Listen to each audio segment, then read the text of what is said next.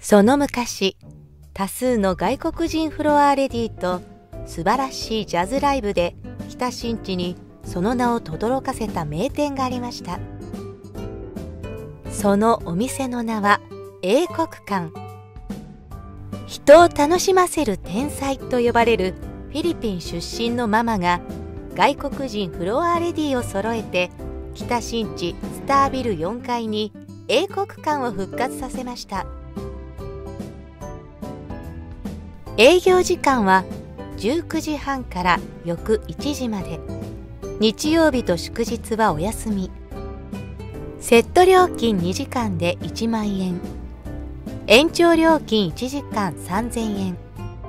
ボトルキープは8000円から。初めての方店ボトルにフリードリンク OK です。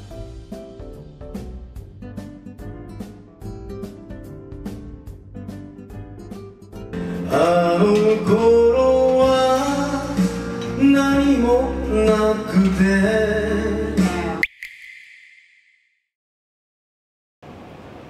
英語館と7年前にあのこのビルの7階に面接来てで英語館がすごく広くて生バンドあってリママとも出会えてすごくいいお店よねって思ってて働くきっかけでした。そこからリンママも体ちょっと調子悪くなってて一度お店閉めてでまあおかげさまで今年去年の10月にまだもう一回交換を組んできた。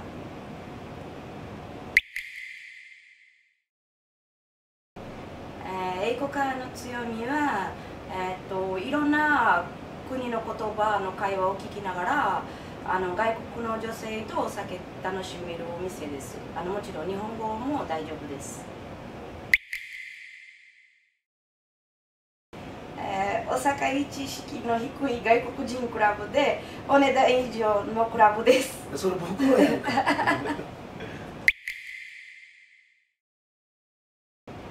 えー、これから頑張っていってこの店は良くしていてもうちょっとこの店よりはあの倍の箱もうちょっと大きくなってほしいなんですその方に持ってって頑張りたいと思ってます。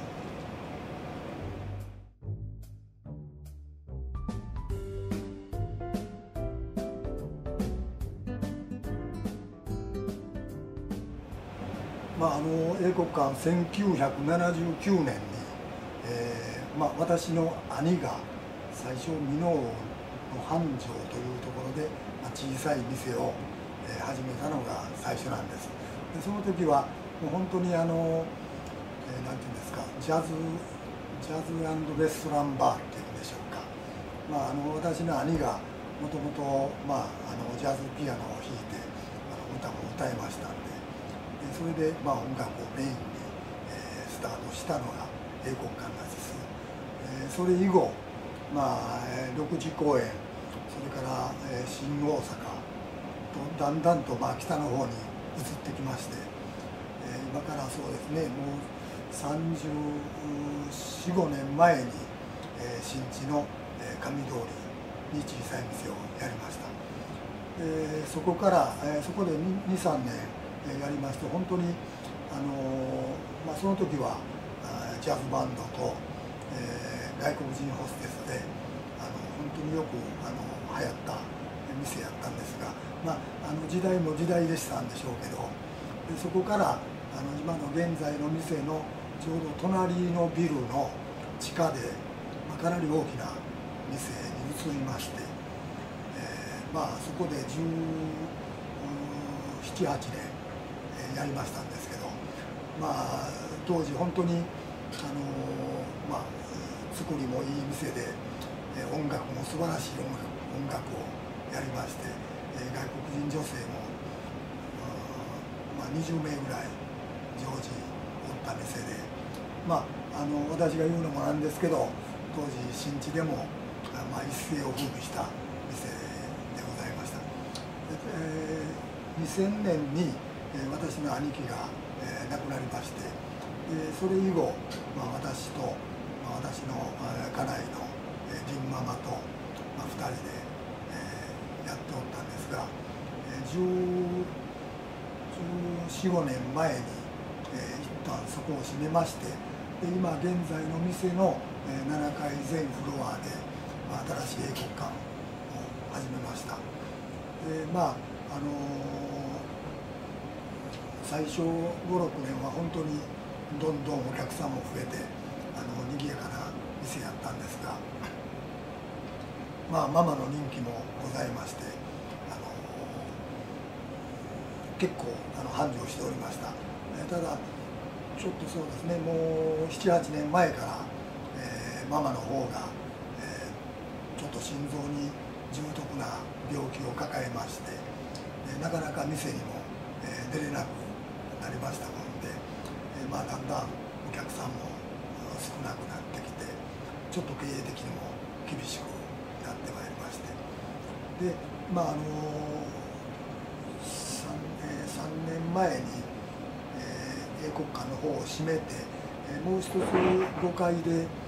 やっておりましたあのアネックスリンっていうカラオケの店を、まあ、2年半ほど、えー、私と、えー、23人の女の子で、えー、やっておりましたんですけど、まあ、その間、えー、リンママの方も、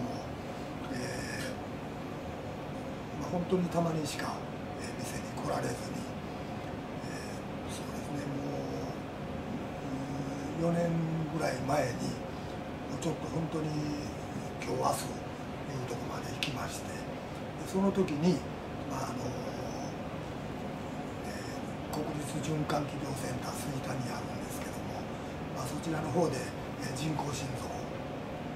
えー、入れてもらって、まあ、あの一命を取り留めました。で、まあ、それ以後ずっとその人工心臓でもってその、まあ、こんなバッテリーを、えー、背負った生活が、まあ、2年半続きましたんですけど、えーまあ、去年の4月に幸いにもドナーが、え、見つかりまして、え、心臓移植成功いたしまして、まあ、今現在本当にあの元気になっております。ただまああの毎日ちょっと店に出るというのはなかなかそこまではいきませんもんでで、まあ、今週に12度は、えー、顔を出しておるような、えー、状態でございます。で今、まあ、あの去年そんなでまあ、ママママの方があの手術を成功して、まあ、元気になってきましたんで、え去年の10月に今現在の店を、まあ、あの英国館クラブという形で、まあ、本当に小さい店ですけど、まあ、始めさせていただきました。